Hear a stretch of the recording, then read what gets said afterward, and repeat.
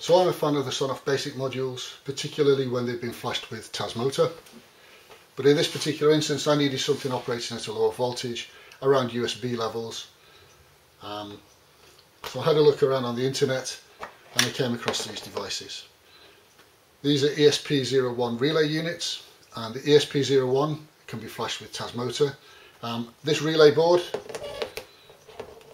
is the um, is the version 4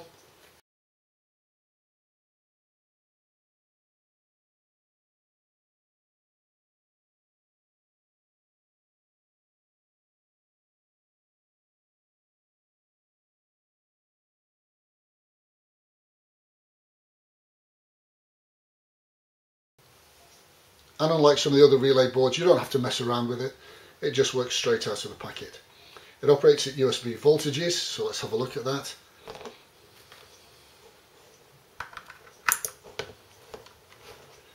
The reset switch is tied into the reset on the chip. So if you operate the reset switch on the board you'll actually reset the ESP01 so it's no good for finding the relay. You, will hear the double click. Um, the relay is actually controlled off GPIO 0 and if you're on the Tasmota website there is already a template set up for this particular relay board which makes using it really really easy.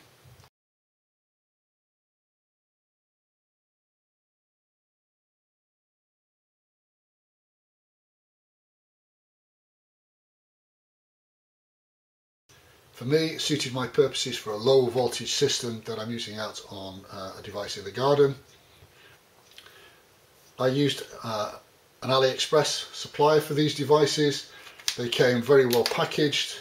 Um, they were delivered very, very quickly. Um, so I'll put a link to those at the end of the video. Low voltage applications, these version 4 relay boards, coupled with an ESP01, particularly when flashed with Tasmota, which is my particular preference, are really, really good.